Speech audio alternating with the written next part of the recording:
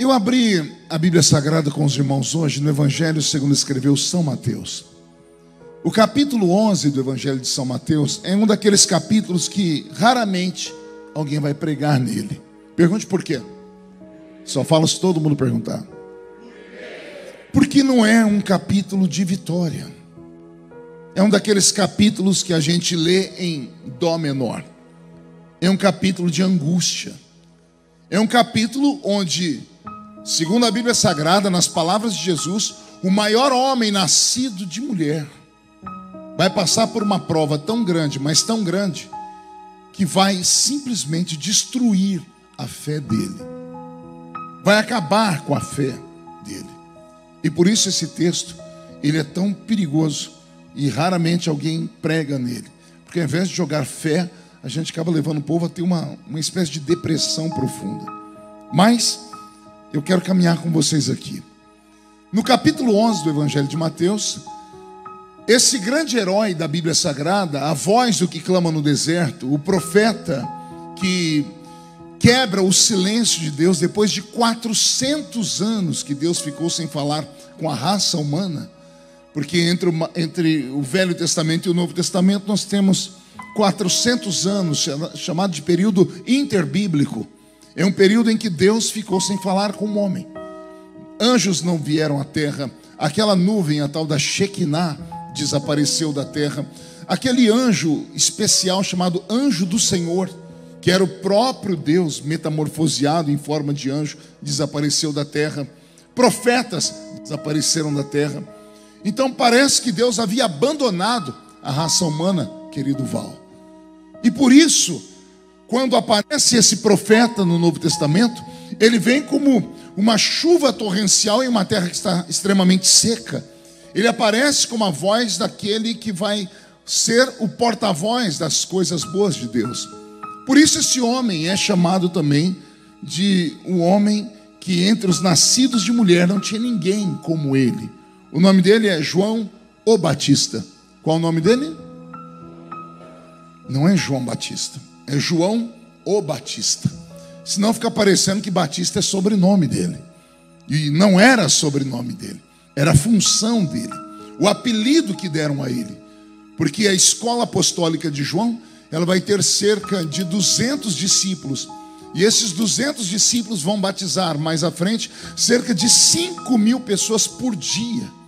Por isso o apelido João o Batista. João o batizador. Quem entendeu até aqui, diga amém. No capítulo 11, esse homem, esse poderoso homem, esse esse apóstolo, esse profeta que vai aparecer do nada, do meio do deserto, ele vai ser preso, vai ser lançado em uma masmorra. Não era uma prisão no centro da cidade, era uma masmorra, ficava no subsolo dos palácios. E lá não entrava luz solar e também o lugar como era feito abaixo é, da terra, haviam os lençóis freáticos de água deixavam aquelas os ambientes é, todos úmidos. E a maioria das pessoas que ficavam dentro dessas prisões terminavam com um problema muito grande no pulmão. E assim era a tortura reservada para ele. Por isso que eu disse que é um capítulo que a gente não gosta de pregar nele. Porque nós temos aqui um homem que fez tantos feitos e ele está aprisionado. Mas antes de falar da parte triste, deixa eu ver se consigo alegrar a igreja aqui, Charles. Pense num homem que não nasceu por vontade divina, nasceu por vontade, ou melhor, que não nasceu por vontade humana, nasceu por vontade divina. É esse João o Batista. Pergunte por quê? Porque a mãe dele é estéril, não podia dar à luz. E chegou o tempo em que Deus queria que ele nascesse. E como Deus queria que ele nascesse, o próprio Senhor foi falar com o pai do garoto. E disse: Olha, a sua esposa vai dar à luz a um filho, tá bom? O pai ficou todo feliz. E o Senhor disse para ele: Não é para contar para ninguém. E como ele tinha a língua maior do que a gravata dos pastores mais antigos, Deus sabia que ele ia contar. Então o Senhor disse assim: Eu vou te contar um segredo, porque eu vou te deixar mudo de qualquer jeito. Esse menino, embora seja seu filho biológico, eu darei o nome a ele. Não vai ser você nem a sua mulher. Eu colocarei o nome dele. E o nome dele será João. Então pense numa criança que vai nascer por vontade divina, E o próprio Deus vai colocar o um nome nessa criança. A mãe dele engravida e ela está lá com a sua barriga já no sexto mês de gravidez. E ela recebe a visita de uma prima. A prima dela vai se tornar muito, mais, muito famosa daqui a pouco. A prima dela está desposada por um certo José, um velhão já, mas a prima dela é jovenzinha, que também estava grávida, só que estava com três meses antes da prima que ela vai visitar. Então, essa Maria, quando chega na casa da sua prima Isabel, faz aquilo que as mulheres fazem: dão um abraço e três beijinhos. E quando elas dão um abraço e três beijinhos, a barriga de Maria encosta na barriga de Isabel. E acontece um fenômeno. A Bíblia diz que o bebê que estava dentro da barriga de Isabel, ele fica cheio do Espírito Santo. Não vou falar de novo que você não entendeu. O bebê que estava dentro da barriga, ele fica cheio do Espírito Santo e ele salta dentro da barriga da mãe. E eu pensava que eu era pentecostal ainda. Como eu prego há mais de 30 anos, eu me lembro que uma vez eu estava num culto e eu vi uma criança de 3 anos profetizar. Eu falei, essa criança ganhou de mim, porque eu fiquei cheio do Espírito Santo com 13 para 14. Ela com 3 anos já era cheia do Espírito Santo. Aí eu leio a Bíblia e encontro um bebê que não nasceu ainda está na barriga da mãe dele, tem seis meses de vida e ele já fica cheio do Espírito Santo. É por isso que nós somos contra o aborto. É por, que nós, por isso que nós não aceitamos que um bebê seja assassinado dentro do ventre da mãe, porque possa ser que ele será no futuro a boca de Deus falando com os homens. Então ele é escolhido por Deus, ele fica cheio do Espírito Santo dentro da barriga da mãe, e essa criança vai nascer. Logo depois nasce o seu primo, que vai se tornar o homem mais famoso do mundo, o nome mais lindo que já existiu nessa terra. O primo dele é Yeshua, que nós conhecemos como Jesus. E só para os desavisados, ele está aqui dentro nessa noite. De repente, todos nós conhecemos a história que antecede o nascimento desse menino chamado Jesus, quando reis saíram do Oriente Médio e em busca de uma revelação, porque uma estrela cortava o céu. E eles vão seguindo a estrela, e a estrela de repente para sobre uma cidadezinha chamada Belém, e é lá nessa Belém que vai nascer o nosso Salvador. Então, esses, esses reis, antes de encontrarem o menino, eles vão pedir autorização para Herodes, porque eles eram estrangeiros e tinham que pedir autorização ao rei. E quando vão pedir autorização ao rei, comentam com ele o que vão fazer ali. Viemos de longe para adorar o menino rei que vai nascer aqui. Herodes ficou apavorado, ficou com medo do seu reino ser dividido e disse àqueles homens: Quando vocês encontrarem o menino, voltem aqui e me contem, porque eu também quero ir adorar essa criança. Quando esses três homens encontraram o bebezinho Jesus, receberam por revelação divina que eles não deveriam voltar a Herodes, porque Herodes estava enciumado. Passou o tempo. Dois anos depois, um dia o Herodes está sentado no trono e Satanás vai no ouvido dele e faz ele lembrar da história. E Herodes pergunta: O que foi feito daqueles três homens que vieram me visitar? Não voltaram aqui? E alguém disse: Não voltou. E, e eles, será que encontraram esse menino rei? Alguém diz: Há histórias pela cidade de que eles levaram ouro, incenso e mirra para uma criança que nasceu dentro de um estábulo. Herodes, possesso por demônios, manda matar todos os meninos de dois anos para baixo. Nesses de dois anos para baixo estão incluídos Jesus Cristo e João o Batista. João o Batista só não morre porque a mãe dele e o pai dele tinham parentes que eram beduínos, que eram aqueles que moravam no meio do deserto. Então, ao saber que Herodes vai começar o massacre dos infantes, envia um menino para morar no meio do deserto para morar no alto daquelas montanhas. Quem já foi em Israel sabe do que eu estou falando. No meio do nada, perto de lugar nenhum, onde o sol chega a 55 graus na sombra às duas horas da tarde, e de madrugada, lá pelas duas, três da manhã, vai abaixo de zero a, a temperatura. É lá que esse menino vai ser criado. E quando ele é entregue na mão desses beduínos, a mãe só dá um recado para eles: esse menino não pode comer qualquer coisa. Essa criança tem uma, uma dieta que não foi dada por homens, foi dada pelo próprio Deus. Esse menino só pode comer gafanhoto e mel silvestre. E a primeira vez que eu fui em Israel, besta de tudo, brasileiro, cheguei numa feira e disse: Vocês têm uma fruta chamada gafanhoto? Mas riram tanto de mim. Porque eu aprendi que o fruto, que ele era uma, é uma fruta chamada gafanhoto. E lá eu descobri que não era fruta porcaria nenhuma. Era aquele bicho mesmo. Só que o gafanhoto de lá, ele chega em fase adulta a ser do tamanho da palma da mão de um homem maduro. Pense no tamanho de um bicho.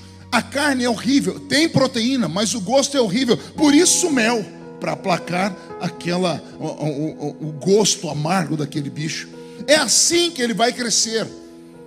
Como ele foi escolhido por Deus no ventre de sua mãe, ele não é só um homem, ele é um homem chamado de Nazireu. Diga comigo, Nazireu. Pergunte para mim o que é isso, pastor. Alguém escolhido no ventre da mãe para uma missão específica.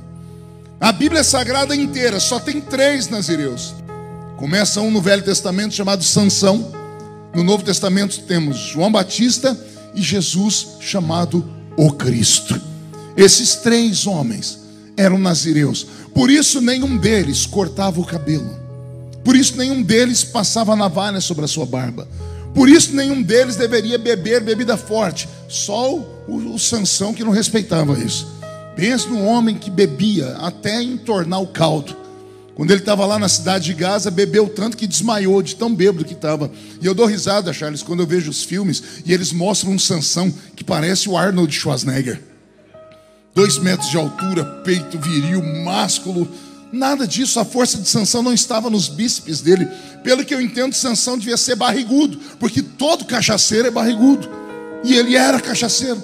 A força dele não estava nos músculos, a força dele estava quando o Espírito Santo descia sobre ele e usava ele para uma obra gigantesca, mais ou menos como eu penso que Deus pode fazer essa noite aqui.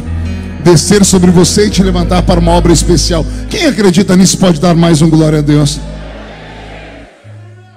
Então ele tem uma comida diferente, só que João Batista também tem uma outra coisa que só ele e na Bíblia Sagrada inteira, de Gênesis a Apocalipse, mais um homem tinha. Pergunte o quê? Deus não foi só o mestre cuca dele. Deus não preparou só a comida para ele. Deus também foi uma espécie de alfaiate. Deus desenhou a roupa de João Batista. João Batista não usava roupa feita de pano. O Senhor foi quem desenhou a roupa dele. Ele usava roupa feita do pelo do camelo. E quando eu era jovenzinho, eu pregava que a roupa dele era do, da pele do camelo. Aí até que alguém falou assim: impossível. Porque a pele do camelo no sol ela vai secando, vai e mata a pessoa apertada. Então não era da pele, era do pelo do camelo. E na Bíblia Sagrada só tem mais um homem que usava uma roupa assim. E antes de falar o nome dele, eu vou desenhar a história. Você vai lembrar. É no Velho Testamento. Tem um rei que está morrendo. Esse rei chamou os adoradores de Baal e disse para eles: subam até Baal e perguntem se eu vou viver ou se eu vou morrer. O templo de Baal ficava no meio das montanhas, no deserto. Dava 30 dias da cidade até o templo. Os homens saíram de manhã. No finalzinho da tarde, os homens voltaram para dentro do templo, para dentro da casa do rei. Entraram no quarto. O rei apavorou e disse: Mas já chegaram, nós, nós nem fomos. E por que, que vocês estão fazendo aqui? É porque no meio do caminho encontramos um homem. E daí? Esse homem parou a gente e disse assim: Porventura não há Deus em Israel? Para que o rei o procure. Como o rei mandou vocês procurarem a Baal, voltem e digam ao rei: do leito em que ele subiu, ele não descerá, certamente morrerá. O rei sentou na cama, olhou para eles e fez a pergunta que qualquer um faria: qual é o nome desse homem? E os mensageiros disseram: a gente ficou com tanto medo dele que nós não sabemos o nome dele. Aí o rei fez uma segunda pergunta: qual era a roupa que ele estava usando? Aí os homens disseram: a roupa a gente sabe. Porque só um louco usa uma roupa daquela no meio do deserto. Ele não usa roupa feita de pano, ele usa uma roupa feita do pelo do camelo. O rei deitou na cama e disse: Chame o padre para dar extrema unção. Já prepara o caixão, porque, ó rei, só tem um homem em Israel que usa essa roupa. O apelido dele é O Fantasma. Vocês sabiam disso? Pergunte por quê? Porque um dia, quando esse mesmo homem fez uma oração e o céu se fechou por três anos e meio sem chover, quando esse mesmo homem foi orar para a chuva vir, Ele pediu para o assessor dele: olha no alto da montanha e vê o que, que tem no céu. O assessor dele voltou e diz: o céu está limpo. Volta de novo duas, três, seis vezes e não tinha nada. Na sétima vez vem o assessor dele dizendo: Eis que eu vi uma nuvem do tamanho da mão de um homem. Aí o fantasma diz: Fala para o rei aparelhar o carro e correr, porque vem uma tempestade aí. O rei, conhecendo esse homem, sabia que tudo que ele falava se cumpria. O rei, em uma carruagem real, puxada por pelo menos quatro cavalos árabes que corriam numa violência terrível, o rei sai da montanha e corre para o seu palácio. Aí a Bíblia diz que quando o rei entrava na cidade, quem é que está encostado na porta da cidade? O fantasma, o profeta. O profeta veio a pé e chegou primeiro do que o rei. Como isso? Vamos entender quando alguém procura ele para perseguir, para prender. O rei mandou prender esse homem, mandou 50 soldados e um capitão. O capitão chegou diante desse fantasma e disse: Homem de Deus, Desce tu conosco agora. E ele gritou: Se eu sou homem de Deus, caia fogo sobre ti e sobre os seus 50 soldados. E 51 homens viraram churrasquinho de gato. Como eles não voltaram, o rei mandou mais 50 homens e um capitão. Esse foi arrogante e disse: Desce conosco, homem de Deus. Ele disse: Eu sou homem de Deus, caia fogo e consuma você e os seus 50 soldados. Aí o rei mandou outra tropa. Aí o capitão chegou e se ajoelhou e disse: Ó oh, homem de Deus, para que não morra a mim e os meus. Por favor, venha conosco à cidade. O rei está te chamando. Por causa da humildade, o fantasma levantou e disse: Podem ir que eu encontro vocês. Aí o homem disse: Há de ser que o senhor não fique bravo conosco, mas todo mundo sabe que o senhor não é dono de si. Porque quando dizem que o Senhor está aqui, vem o seu Senhor do céu e te tira daqui e te coloca ali. E se o Senhor não aparecer lá, vou morrer eu e minha família. Aí o fantasma caminhou ao lado deles. O rei está deitado na cama e diz: Só tem um homem que tem esse poder. O seu nome é Elias, o Tisbita, o homem, o profeta do fogo. Então vejam só, somente dois homens na Bíblia usam esse tipo de roupa feita de pelo do camelo: Elias, que é o maior profeta do Velho Testamento, e João Batista, o profeta do Novo Testamento. Quem entendeu até aqui, diga: Eu entendi, pastor. Chegado o tempo dele abrir o caminho para Jesus entrar, lá vem aquele profeta entrando dentro da cidade, mas eu quero desenhar ele para você, viu? Imagine alguém que tem o cabelo todo encaracolado, grande e meio endurecido por causa da poeira e do sol. Tem a barba sem fazer. Ao invés de usar roupa de pano, está usando uma roupa feita de pelo de animal. Como só come mel silvestre e gafanhoto, é magricelo. Quero que você imagine essa criatura andando é ou não é um homem das cavernas? É um Neandertal. Só ele tem aparência de louco. E quando esse louco entra dentro de Jerusalém, as pessoas começam a olhar pela aparência, pela roupa, pelo cabelo, porque não pode cortar o cabelo, não pode cortar a barba e ainda usa roupa feita do pelo de animal. Ele entra dentro da cidade e começa a pregar. Pense num pregador macio, com uma pregação doce, igual aquelas que você anda ouvindo por aí. Não importa se você é vesgo, você pode muito se parecer com Brad Pitt se entregar a sua vida para Jesus. Não era nada disso. Ele entrou na cidade gritando: Arrependei-vos, porque é chegado o reino de Deus sobre a terra. As pessoas olhavam: Que reino é esse? Ele dizia: Raça de víboras. Quem vos ensinou a fugir da ira de Deus? E com essa pregação violenta, as pessoas começaram a correr atrás dele. Porque as pessoas sabiam que há muito tempo Deus não falava. E se ele pegava pesado e batia, era para se cumprir a palavra: que Deus bate e açoita aqueles a quem Ele ama. Se você estiver numa igreja e o pregador ficar extremamente bravo e começar a puxar a sua orelha, não chame ele de maluco, de desequilibrado e nem de pregador medieval. Incline a sua cabeça e comece a dizer: Obrigado, Senhor, porque o Senhor ainda fala. Principalmente se doer, se ficar desconfortável, é porque Deus, além de falar, ainda te ama. Dura essas pessoas que escutam o pregador, a pregação entra por aqui, sai por aqui e a pessoa nem se movimenta no culto. Fica o culto inteiro olhando o pregador com essa cara feia aí, ó. Parece que foi batizado num pote de vinagre. Passa a reunião inteira sendo pentecostal, mas com a boca travada. Segura aí, boca de aço, língua de ferro, queixo de concreto. Vem para uma reunião e diz que é sensível, mas os olhos ficam secos, parecendo olho de sapo que morreu no dia de enchente. Por isso que Deus às vezes tira um chicote e fala para o pregador: prega. E o pregador prega com vontade. Se isso acontecer, ao invés de ficar triste, falar eu vou sair da igreja, erga a mão para o céu e diz: Jesus ainda ama a sua igreja e ele ainda fala conosco. Posso ouvir um glória a Deus por esta palavra? Maravilha. Esse é o profeta João Batista. Não bastasse ele pregar para as multidões, as pessoas gostavam de ouvi-lo, mesmo sendo um homem tão insensível, para alguns, não tinha gentileza nele. Conta a história que um dia o rei Herodes inventou essa história de governo populista. Foi Herodes que inventou essa história do governante, ao invés de falar só com, a, com o alto clero da sua cidade, com os nobres, resolve conversar com a plebe. Herodes mandou construir na frente do palácio dele uma antessala. E todas as quartas-feiras, às duas horas da tarde, a tradição diz que ele abria a porta dessa antessala para receber os pobres que precisavam de algum tipo de benefício. E as pessoas faziam fila para estar ao lado de Herodes. Herodes se arrumava porque ele era muito narcisista perguntar para as pessoas se ele estava bem, porque ele tinha que parecer para aqueles homens não um homem, mas um Deus. E as pessoas na fila, quando chegava a vez delas, Herodes dizia assim: O que a senhora precisa? E a mulher dizia: Está faltando água lá no meu bairro. E Herodes batia suas mãos e dizia: Cadê o nosso, o nosso engenheiro aqui, chefe?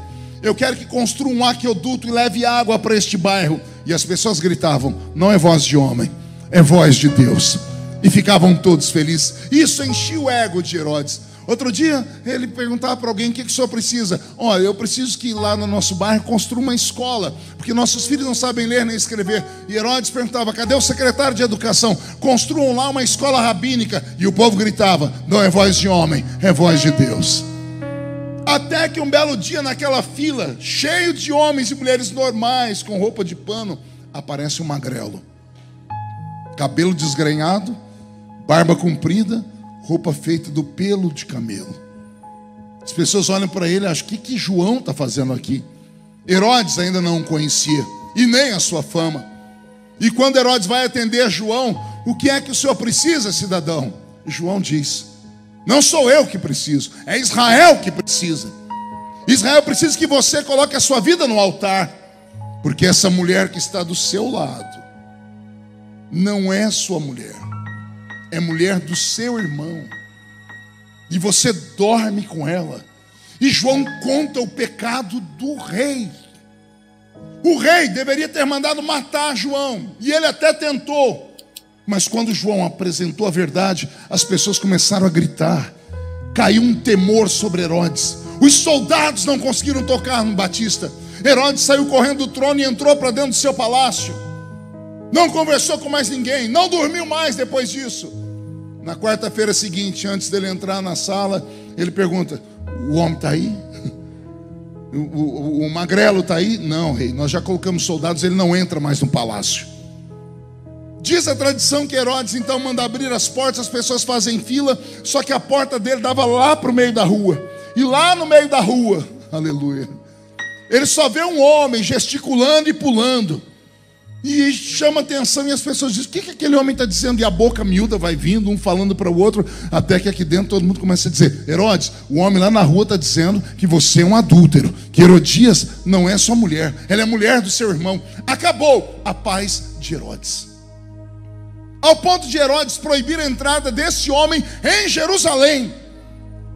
Na próxima quarta-feira ele pergunta: Tem certeza que o homem não está na cidade? Rei, colocamos guarda para todos os lados. Ele sumiu, ele não está mais na cidade. Então abra a porta da, do, meu, do, do meu palácio. Quando abre a porta do palácio, não entra uma alma.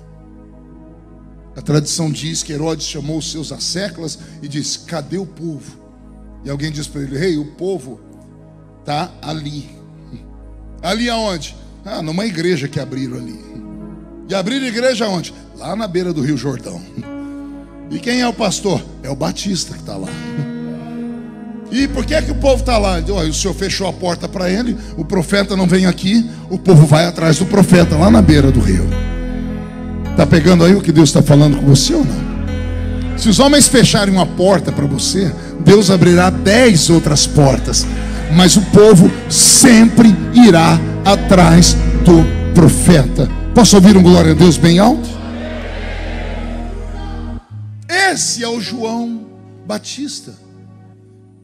Esse é o homem que está lá batizando 5 mil pessoas por dia. E o povo amava assistir o batismo dele. Pergunte por quê? As empregadas faziam questão de levar as patroas. Os empregados chamavam os seus fazendeiros. Vamos lá conhecer o meu pastor, porque, nossa, quando, como Deus usa ele. E como havia um tempo de sequidão, todo mundo queria ver Deus usar. Aí, quando João começava a pregar, apontava o dedo para aquelas mulheres ricas, para os homens ricos, dizia assim: raça de víboras. As empregadas diziam: fala Deus. O povo gosta do mal feito, né? Ela não tem coragem de falar para a patroa, mas o pastor dela tem. E João dizia raça de víboras, o povo dizia, dá-lhe João. E todo mundo para ele era cobra. Víbora é uma cobra, amém? Vamos imaginar o batismo? João dizendo, vem cá, sua caninana. Tibum, vai embora. E o povo, isso, João, e essa cobra? Essa aqui é uma cascavel. Tibum, vai embora. E essa outra? Essa aqui é uma urutu cruzeiro. Tibum, vai embora. E o povo gritava: Esse é o nosso pastor. Até que um dia João estendeu a mão para chamar mais uma cobra. E a boca dele travou. E o povo disse: João, que cobra é essa? Ele disse: Não é cobra. Eis ali o Cordeiro de Deus que tira o pecado do mundo. Eis ali o Cordeiro de Deus que veio nos salvar. E a Bíblia diz que João saiu das águas e foi até a ribanceira do rio para receber Jesus. E por onde ele passava, as pessoas diziam: Que homem é esse? Que até João respeita. João escutou e pela primeira vez ele mudou o sermão dele. Agora o Batista vai ficar pentecostal, porque ele vai dizer: Eu, na verdade, vos batizo com água para arrependimento. Esse homem que vem aí, eu não sou apto nem para desatar as alpacas dos seus pés. Como eu disse, eu vos batizo com água para arrependimento, mas ele, ele vos batizará com o Espírito Santo e com fogo. Pois bem, essa é a história. Por causa dessas singularidades, esse é o maior homem nascido entre mulheres. Razões: primeiro, Deus escolheu ele. Segundo, Deus o fez nascer. Terceiro, Deus deu nome a ele. Quarto, Deus escolheu a dieta dele. Quinto, Deus o vestiu. Sexto, Deus o escondeu no deserto. Sétimo, Deus o trouxe para pregar. Oito, Deus deu a ele autoridade sobre os homens e até sobre soldados. Nove, Deus deu a ele autoridade para colocar o dedo no nariz do homem mais importante do seu povo, no seu tempo. Dez, Deus deu a ele o poder de convencer as multidões a se arrepender dos seus pecados. Isso é ou não é razão suficiente para ele ser chamado do maior homem nascido entre mulheres? Sim ou não? Então, uma salva de palmas para o nosso irmão João Batista. Pois bem.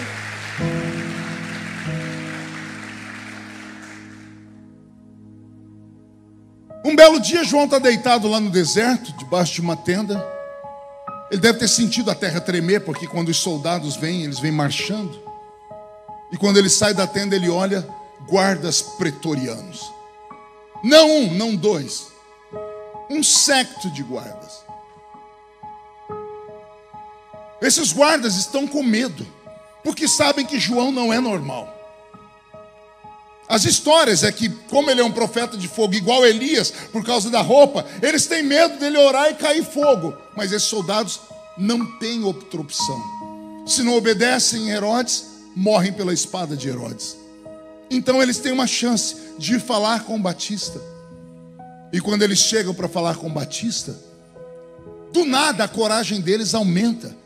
Até que um soldado põe a mão no Batista. E quando põe a mão no Batista, todo mundo espera que aquele soldado fosse fulminado. E não acontece nada com o soldado. Alguém amarra as mãos de João. E não acontece nada com quem amarra as mãos de João. Alguém está em cima de um cavalo e começa a arrastar João. E o cavalo continua normal. E de repente os soldados estão conversando. Por que nós tínhamos medo dele? O que aconteceu? Porque da outra vez que nós o vimos, nós tínhamos medo dele, porque a multidão respeitava esse homem. Mas agora, ele parece só mais um. Isso é a mente dos soldados. Você pode conseguir tentar imaginar o que passa na mente de João? Deus tem um propósito nisso. Se ele deixou me prender, é porque ele tem um propósito dentro daquela prisão. Vai acontecer um reboliço lá. Vai haver um avivamento. O Senhor vai me usar para salvar a casa de Herodes inteira. Porque a gente só pensa up, para cima. Levam ele para a prisão. E quando a prisão abre, quando abre uma daquelas celas, lá dentro estão bandidos, estupradores. Lá dentro estão ladrões. A pior raça da sociedade está lá dentro. E quando esse homem entra dentro da cela, todos os soldados, todos os presos devem ter encostado na parede, porque a roupa dele o denunciava. É a roupa do pelo do camelo, é o homem magrelo, cabelo comprido, é o profeta. E ninguém tem mais medo de profeta do que pecadores com P maiúsculo. Os presos estão vendo um homem de Deus entrar dentro da prisão. Diz: Ele, se orar, vai cair fogo e vai matar a gente. As pessoas respeitam ele. João entra de peito estufado. Ele olha para a prisão e diz: Deus tem algo comigo aqui dentro. As pessoas nem cumprimentam ele. Por algumas horas ficam só olhando, a respiração deles está ofegante. E esse João senta num canto. E ele espera que um anjo venha visitá-lo. Ele espera um milagre extraordinário, ele espera uma nuvem, ele espera sei lá o que. Porque é isso que acontece quando nós somos testados. Nós queremos que Deus interfira e acabe com o nosso sofrimento. Só que vira o dia e nada acontece. Então João usa as armas do crente. Creio eu que ele jejuou, Charles. O primeiro dia. O jejum vai fazer Deus descer aqui e me livrar. Todo mundo come, mesmo que lavagem, porque é isso que presos naquela época comiam. João não come nada. Segundo dia de jejum, João também não come nada. Terceiro dia de jejum, João não come nada. E de repente, João começa a sentir as necessidades de um ser humano normal. João precisa fazer xixi. João precisa aliviar o seu ventre. E o profeta do Deus vivo agora tem que fazer as necessidades perto de outro preso. E os presos começam a dizer um para o outro: Ele é de carne e osso. Ele não é nada daquilo que as pessoas falavam. O próprio João começa a duvidar de si. 30 dias presos. Quantos dias, igreja? Não ouvi? 30 dias preso atrás do cárcere foi o suficiente para o maior homem nascido de mulher falar a seguinte sentença quando alguém vem visitá-lo. E vem dois discípulos visitá-lo. Quantos discípulos? Quantos ele tinha, você se lembra? Duzentos. Não era para estar os 200 discípulos ali protestando, fazendo um jejum, uma vigília na porta do, do palácio, para o seu chefe sair. Cadê os outros 198? Enquanto João era o cara, enquanto João era respeitado, enquanto João fazia sinais do seu jeito, todos estavam atrás dele. Bastou 30 dias de humilhação, 30 dias de perseguição para ninguém mais querer falar que era sequer amigo dele. Dos 200, sobrou dois. Aquilo que você falou, Marcos Alberto, não enche uma mão na hora da dor. Quando esses dois discípulos que sobraram fiéis chegam diante de João, João devia estar sentado, levantou, veio aqui na grade. Os dois amigos estão aqui do lado de fora e ele lá de dentro. Eu imagino João agarrando aqui a canaleta e eles perguntando: Está tudo bem, João? E João dizendo assim: Gente, sem conversa lembram aquele homem que eu batizei? Você batizou muitos? Não, não. Teve um, eu estava louco. No dia que eu batizei ele, o céu abriu. Desceu sobre ele o Espírito Santo em forma de uma pombinha. Vocês viram isso? Vimos, nós estávamos lá. Só eu ouvi uma voz lá do céu que gritou: Eis aí o meu filho amado em quem me compraste. Não, João, nós também escutamos. Pois bem, procurem esse homem, porque ele vai ajudar a tirar você daqui. Não, procurem ele e façam uma pergunta. Qual pergunta? Perguntem a ele se ele é o Messias ou se existe outro. Porque eu já não acredito em mais nada. João, o maior homem nascido entre mulheres, bastou 30 dias de luta e violência. Ele desacreditou que Jesus era Jesus. Ai meu Deus, Beto, mude a música. Às vezes esperamos que o nosso irmão seja um super-homem, uma mulher maravilha.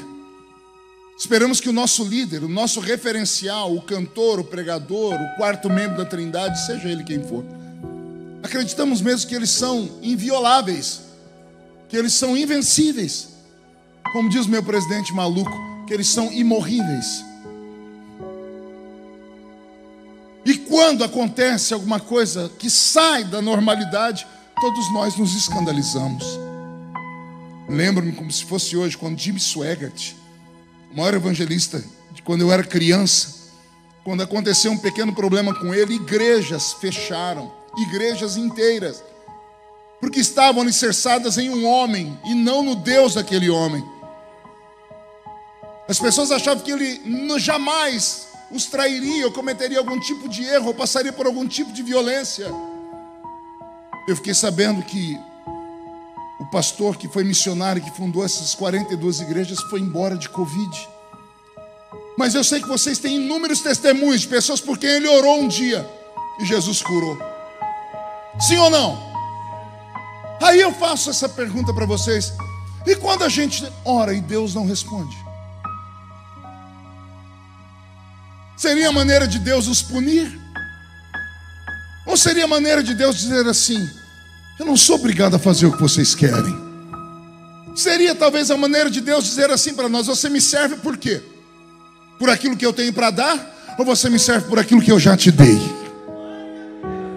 Porque se você veio aqui em busca apenas de um Cristo que parece o, a, o gênio da lâmpada, você está no lugar errado.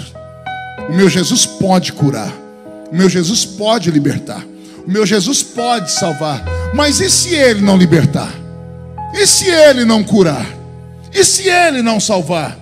Por isso você vai virar as costas para ele e vai trocá-lo por causa de um quimba de cigarro fumado lá fora?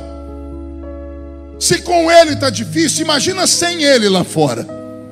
Eu não sirvo Jesus por aquilo que ele tem para me dar. Eu sirvo Jesus por aquilo que ele já me deu. Ele salvou a minha alma, escreveu meu nome no livro da vida. E se a trombeta do arrebatamento tocar agora, eu não sei vocês, mas eu subo para o céu, porque eu tenho a esperança de um dia vê-lo face a face. O sermão desta noite tem só um objetivo: saber se você de fato está em Cristo ou está decepcionado com Jesus. Porque o que aconteceu com João é o que acontece com todos os discípulos. Se decepcionou com Jesus pastor, mais nem mais nem menos. Por que você acha que Judas traiu Jesus? Porque ele era um mercenário de verdade? Não, ele deixou tudo, ele deixou família, ele deixou emprego para andar atrás de Jesus, porque ele acreditava que Jesus era o libertador de Israel. Quando Jesus começou a falar, o meu reino não é desse mundo. Quando ele começou a falar, eu vou morrer, mas depois de três dias que esse templo foi destruído, eu reconstruo ele. Judas disse, ele não é quem eu estou pensando. Judas vendeu Jesus não é porque ele era cruel, ele achava que Jesus era um mágico.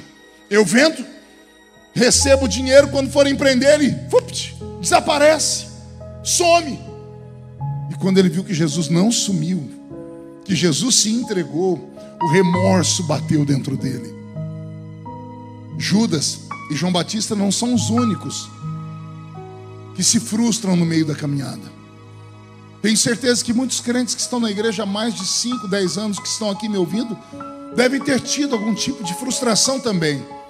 E às vezes a pessoa vem para o culto e ela não dá glória a Deus e deixa o pregador pentecostal irritado, mas o pregador também tem que entender que tem gente que não dá glória a Deus não é porque não quer, é porque não pode, é porque não está em condições. Dá glória a Deus quando a casa está de pé, amém. Quando o carro tem combustível, amém. Quando o filho tem saúde, quando o casamento está perfeito, amém. Quero ver da glória a Deus quando o teto desaba em cima da sua cabeça. Quando o chão abre debaixo dos seus pés. Quando aqueles que deveriam te proteger abusam de você. Quando a igreja que deveria te entender dá um jeito de te expulsar lá de dentro porque você não faz parte daquele grupo tão perfeito. Aí eu quero ver você dar glória a Deus.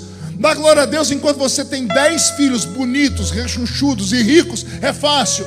Quero ver você pegar na alça do caixão dos dez filhos e marchar para o cemitério e olhar para o céu e dizer: Deus deu, Deus levou.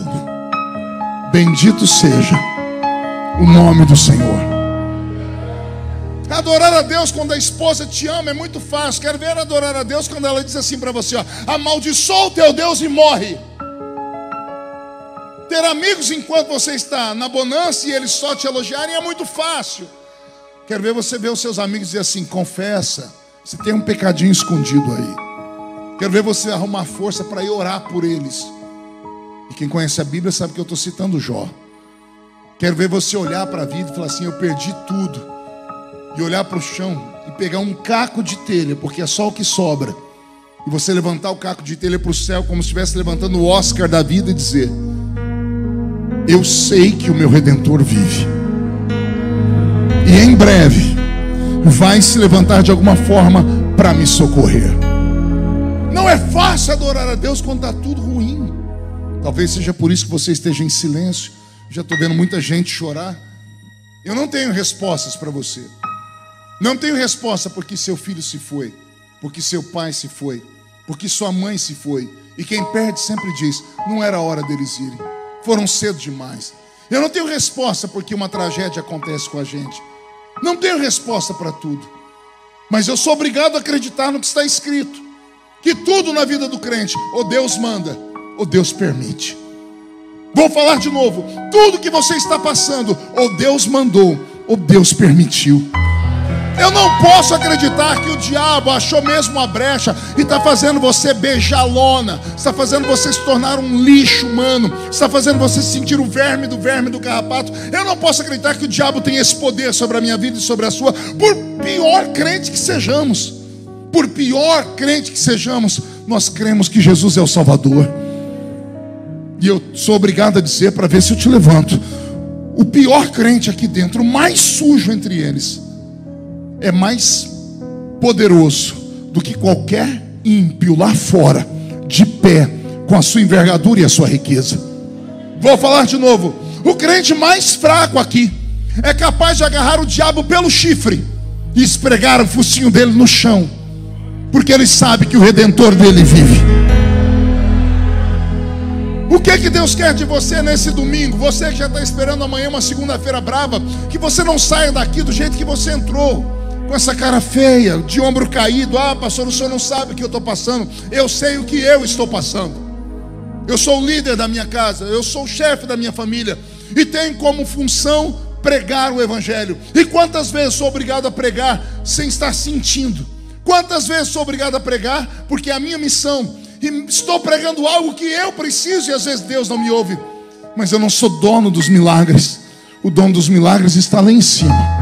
Cumpre a mim acreditar, cumpre a você receber, cumpre a você quebrar o silêncio nesta noite e dizer: Eu continuo te amando, Jesus, ainda que tudo esteja dando errado. Será que alguém tem coragem de dar esse grito de glória a Deus aqui e adorá-lo?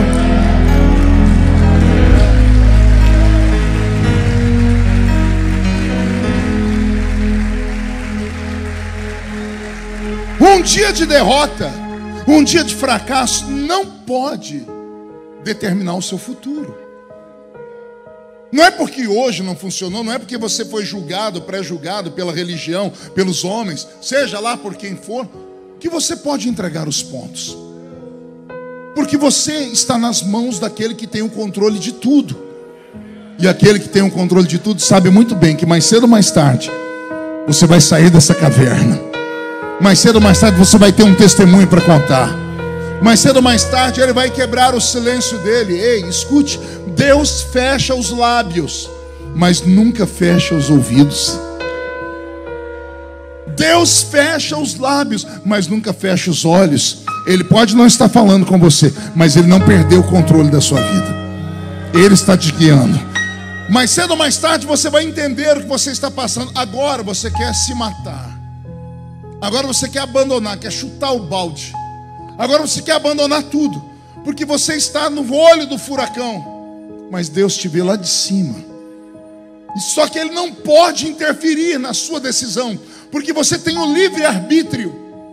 Aquele que conseguir conviver com a luta viverá para contar o testemunho do milagre.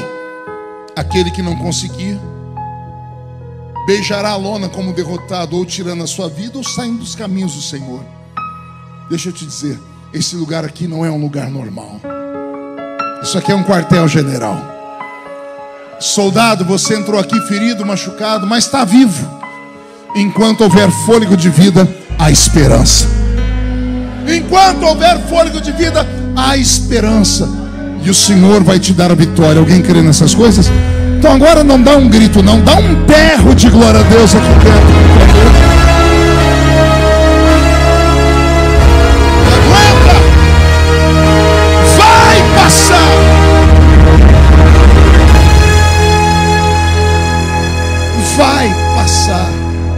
Essa luta vai passar. Não há dor que dure para sempre. Também não há prazer que nunca acabe. A vida é essa oscilação, altos e baixos, às vezes mais baixos do que altos. Eu tenho uma, uma mãe de oração, e dia desse ela, a gente conversa pelo WhatsApp, ela sentiu que eu estava meio triste, e ela está internada. Ela disse assim: Deus mandou te mandar uma coisa agora. Eu falei: então manda porque eu estou precisando. Ela gravou, Charles, aquele aparelhinho que fica dentro do, do quarto, que fica medindo as batidas do coração. Como é que chama aquilo? Alguém sabe? Aquilo que marca o coração lá, que o coração fica sub eletrocardiograma. Ela mandou aquilo. E ela mandou um áudio junto dizendo assim: Olha aí o que é a vida. A vida só é vida quando ela sobe e quando ela desce.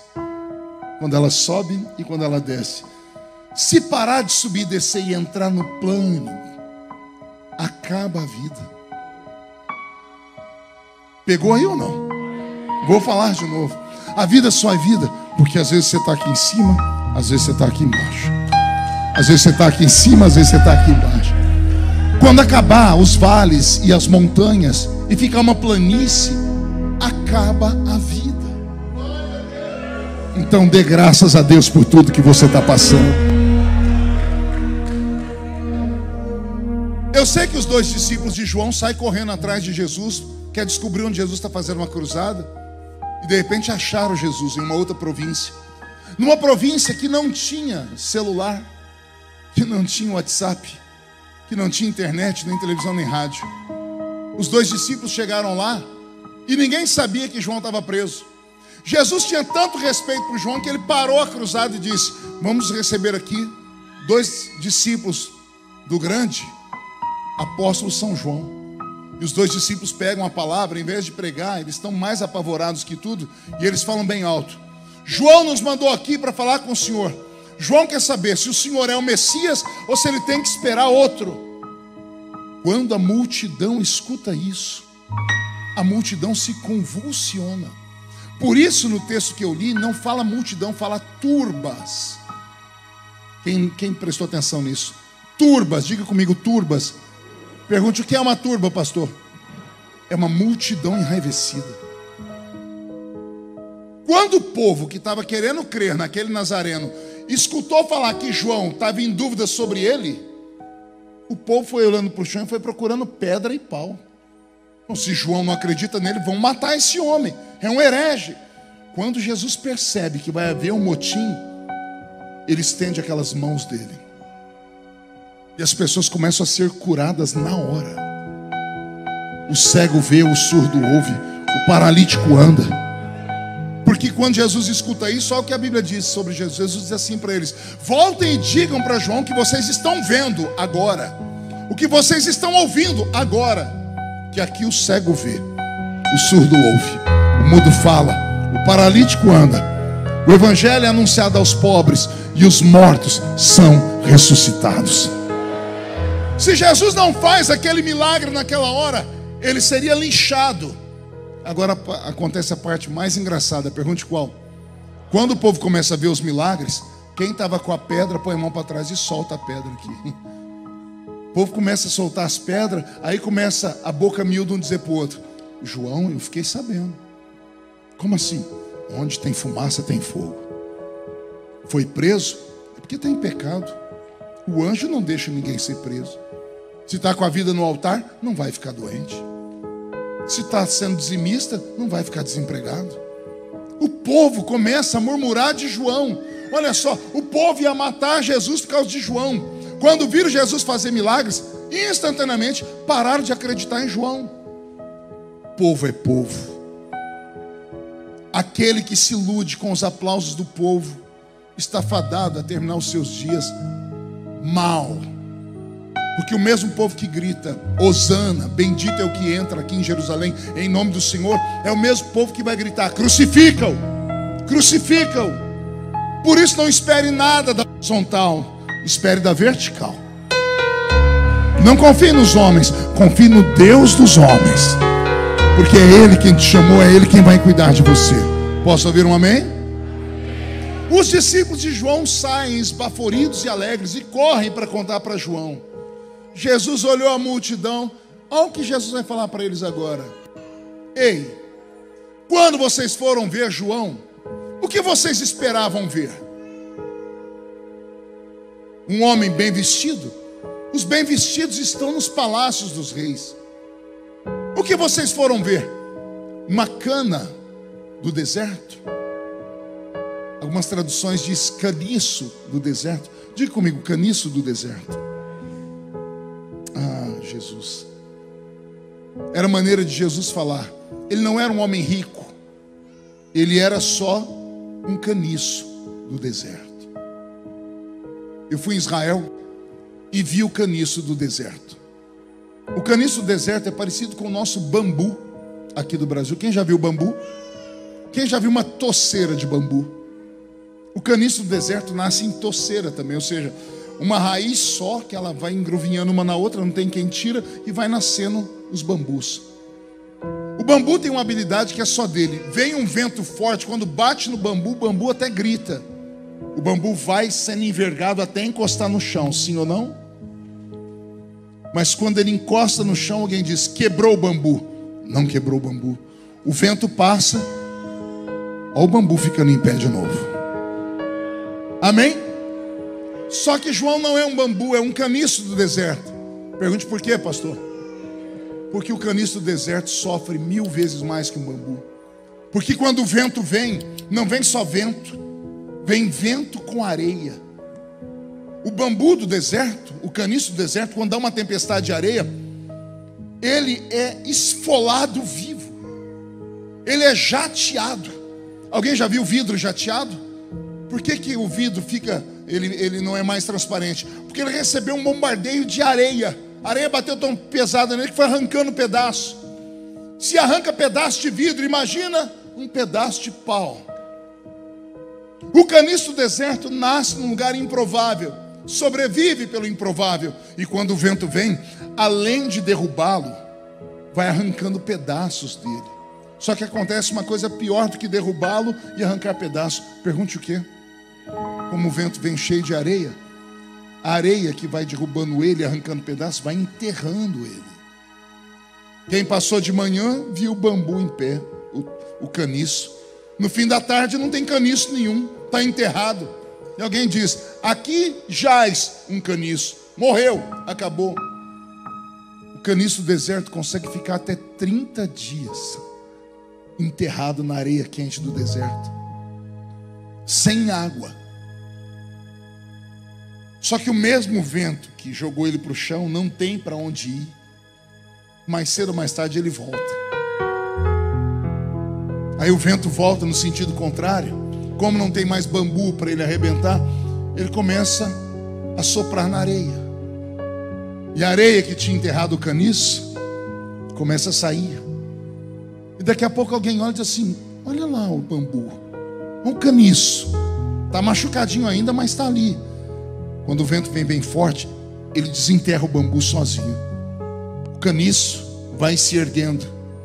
Daqui a pouco as suas cicatrizes são curadas.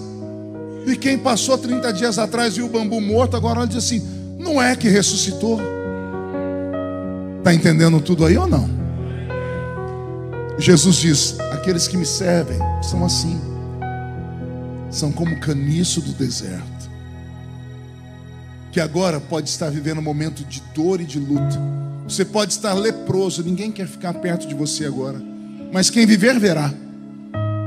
Quem viver, verá para ver o que Deus vai fazer na sua vida ainda. Porque você é só um caniço do deserto. E aí vem a parte mais linda do texto, pergunte qual. Jesus agindo como Deus, Charles, não como amigo. Jesus sai na defesa do Batista, mesmo o Batista estando lá duvidando dele. Deus não é como um homem, faça 99 coisas boas para o homem e vão te chamar de anjo. Faça uma que ele não goste. E você vai ver essa mesma pessoa que te chamou de anjo te chamar de demônio. Porque as pessoas nos medem pelas réguas dela. Deus não. Charles sempre me conta um texto lá de Jó que diz que Deus tem uma balança. Balança do bem e do mal, dos seus feitos. Deus sabe que você nem sempre vai estar grande, importante. O que Deus espera não é 100% de vitória, é que pelo menos as práticas boas sejam mais pesadas do que as práticas ruins. Porque Deus não é injusto. Jesus sabe que João não acreditou nele, olha o que Jesus diz: entre os nascidos de mulher, não tem ninguém igual a ele. Pode estar preso, pode não estar mais acreditando em mim, mas eu reconheço o que ele já fez. Há uma, há uma folha de serviço prestada, e isso tem peso diante do reino. Às vezes a igreja não reconhece isso, mas o seu Deus reconhece isso. O Senhor me trouxe hoje aqui só para te dizer, João, aguenta. Há um tempo determinado para tudo debaixo do sol. Há um tempo de sorrir e há um tempo de chorar. Há um tempo de plantar e há um tempo de colher o que se plantou. Que você só não pode é trocar Jesus por nada. É você agarrar ele e dizer assim: Eu vou com o Senhor até o fim. Ainda que ele te deixe aleijado, não solte ele. Alguém lembra da história de Jacó? Quando agarrou o anjo? Ficou aleijado, mas o nome dele foi trocado. Não sou mais Jacó, sou Israel, sou príncipe, porque lutei com os homens e lutei com Deus, e eu permaneci de pé. Só os que acreditam nessa história, fiquem de pé comigo agora.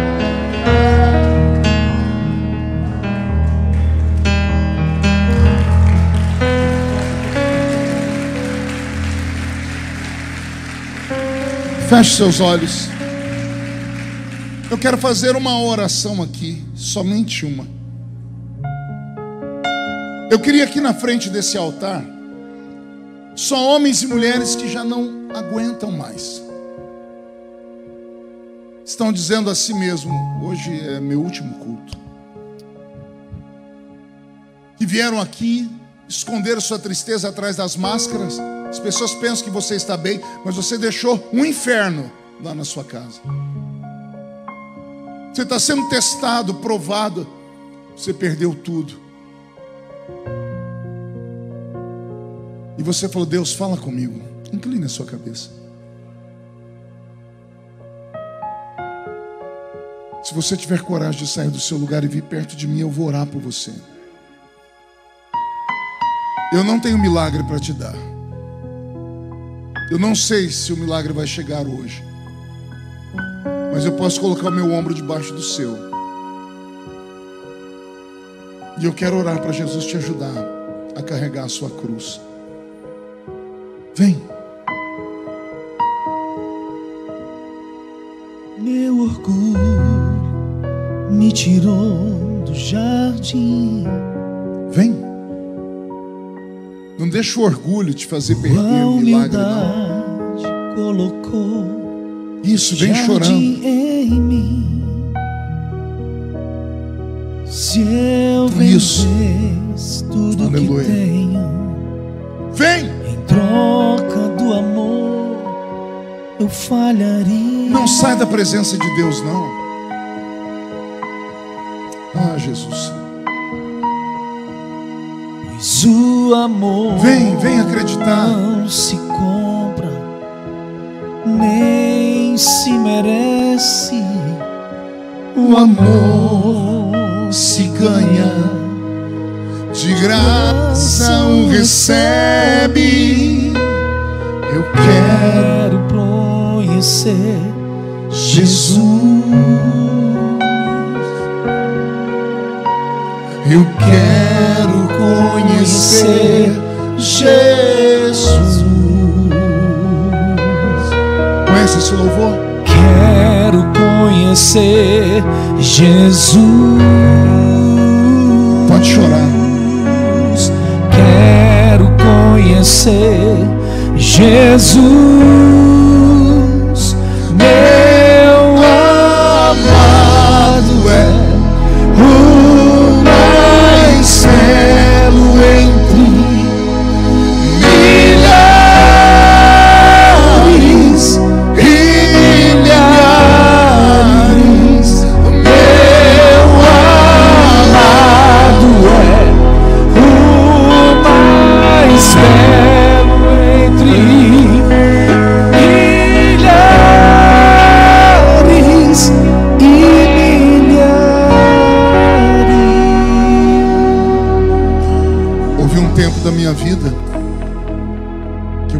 Jesus tinha me deixado sozinho. Eu enterrei um filho. Nenhum pai deveria ter que enterrar seu filho. Quando eu passei aquela perseguição em 2013, que eu apanhava na rua, no avião, que eu não podia andar em lugar nenhum.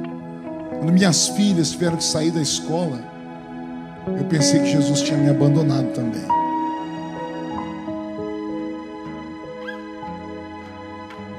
Quando fui caluniado, e tudo comigo vai parar no Jornal Nacional, eu pensei, perdi tudo. Naqueles dias eu pedi a morte. O tempo passou, veio a vitória. O Senhor exaltou meu nome, guardou minha casa. Eu olho para trás hoje e dou risadas. Mas naquele momento eu queria morrer. Por isso, nada melhor do que um dia após o outro. Deus é o Senhor do tempo. E o tempo se incumbe de colocar tudo no seu devido lugar. O jornal de hoje, Marcos Roberto, ele embrulha o peixe de amanhã na feira. As perseguições que você sofre hoje, dá três dias, as pessoas perdem a força de falar. Então aguenta. Não seja como os covardes que acabam se matando, saindo da vida, pulando do alto de uma ponte, enforcando, dando um tiro no ouvido. Não perca a fé. Olha como Deus te ama. Ele me trouxe hoje aqui só para falar isso para você. A igreja vai estender as mãos para cá. E você que veio à frente vai colocar a mão no coração. Em nome de Jesus. Em nome de Jesus. Em nome de Jesus. Eu oro para que todos os que vieram aqui à frente recebam nesse momento um bálsamo. Recebam um abraço, não de homens, mas do Espírito Santo. Que o peso na mente comece a sair. Que o coração apertado comece a desapertar. Que a fé volte a nascer. Que a esperança comece a crescer. e que os anjos comecem a fazer festa, porque o milagre já está acontecendo. Recebe o milagre nesta noite. Recebe nesta noite o toque do eterno. Seja protegido você e sua casa. Nada vai ser destruído. Tudo que foi roubado será devolvido. No tempo certo, Deus vai te exaltar. E quem viver, verá para ver o que Deus fará na sua história. Recebe o um milagre nessa hora. Recebe o um toque de Deus.